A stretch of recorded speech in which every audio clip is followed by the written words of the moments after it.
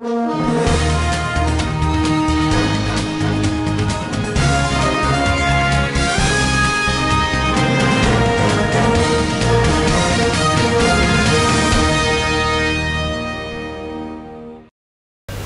రాజమహేంద్రవరం నగర ముప్పై ఒకటవ డివిజన్లో కరోనా యుద్ధంలో ధైర్యంగా సేవలందించిన పలువురు పారిశుధ్య సిబ్బంది మదర్ చెరిస మాదిరిగా మానవ సేవలో పాలు పంచుకున్నందుకు గాను ఎంపీ వ్యక్తిగతంగా సన్మానాలు చేసి జ్ఞాపికలు అందజేశారు.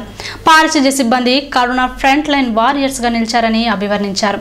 మనల్ని మనం కాపాడుకోవడంతో పాటు పక్కవాడిని కూడా కాపాడే పెద్ద మనసు పారిశుధ్య సిబ్బందికి ఉన్నందున వారికి శిరస్సు వంచి పాదాభివందనం చేస్తున్నానన్నారు. ఇదే సందర్భంలో డివిజన్ వైసీపీ నాయకులు మజ్జి అప్పారావు నూకరత్నం దంపతులు ధైర్యంగా సేవలందించి ఆదర్శ దంపతులుగా నిలిచారని ప్రశంసించారు.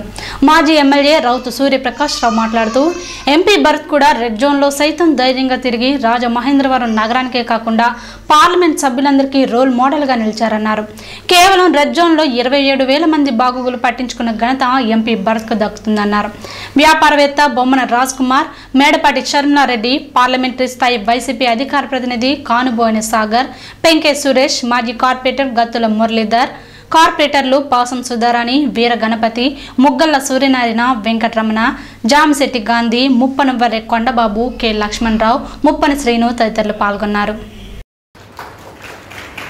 అంతేకాకుండా మన గౌరవ ముఖ్యమంత్రి గారు జగన్మోహన్ రెడ్డి గారు కూడా ఏ రకంగా ఒక రోల్ మోడల్ రాష్ట్రం కింద దేశంలో ఎక్కడా లేని విధంగా ఆయన ముందు చూపుతో ఎన్నో ఆలోచనలు చేసి భవిష్యత్తులో ఏం జరగబోతుంది అనేది ముందుగానే చెప్పడం కూడా జరిగింది. ముఖ్యంగా ఈ జోన్ల యొక్క వ్యవస్థ red zone green zone orange zone అని మొట్టమొదటి ముఖ్యమంత్రి మన ప్రధానమంత్రి గారికి కూడా సూచన చేశారు.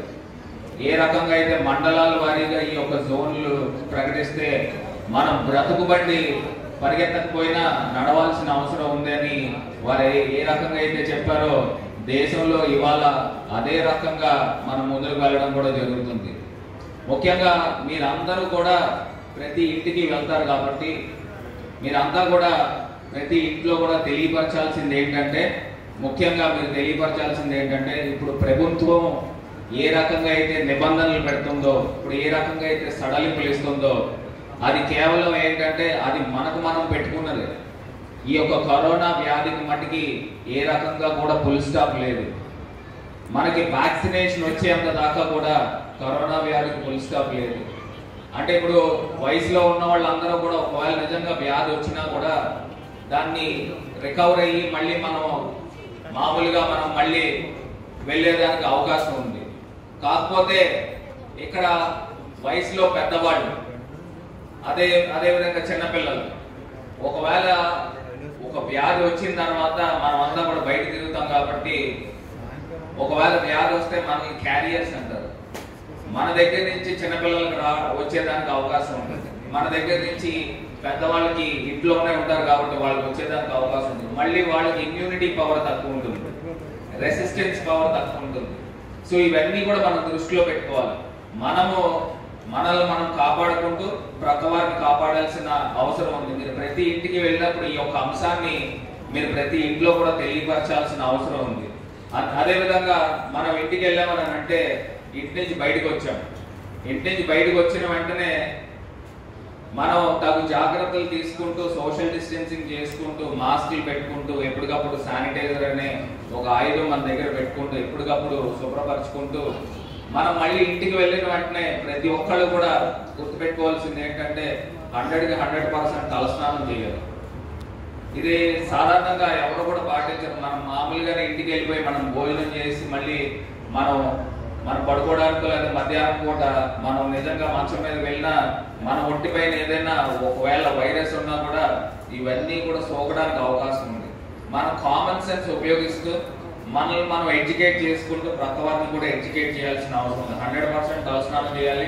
మన బట్టలు ఎప్పటికప్పుడు మనం విడిచిన వెంటనే మళ్ళీ దాన్ని ఉతుక్కునే విధంగా మీరందరూ కూడా చర్యలు తీసుకోవాలి. ఎందుకంటే నేను ప్రతిరోజు నేను ఇది పాటిస్తాను. నేను ఇంటికి వెళ్ళానంటే ఆ బట్టలు నేనే ఉతికేస్తాను.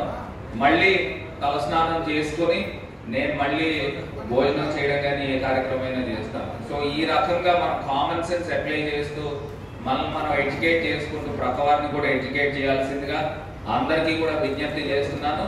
మరి ముఖ్యంగా ఈ రోజున మధ్యప్పారావు గారు వారి సతీమణి ఇద్దరు కూడా చాలా పెద్ద ఎత్తున ఆలోచన చేసి అందరినీ కూడా సత్కరించాలి.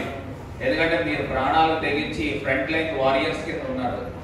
మిమ్మల్ని అందరినీ కూడా సత్కరించాలని ఒక ఉద్దేశంతో మంచి కార్యక్రమాన్ని చేపట్టినందుకు అప్పారావు గారిని మనస్ఫూర్తిగా అభినందిస్తున్నాను వారి ముఖ్యంగా ఈ ఇలాంటి అంశం మన రాష్ట్ర వ్యాప్తంగా ప్రతి ఒక్కళ్ళు కూడా టేకప్ చేయాలి. ఎందుకంటే ఎవరైతే కష్టపడుతున్నారో వాళ్ళని గుర్తించినప్పుడే వాళ్ళకి నిజమైన మనం సత్కరించినట్టు.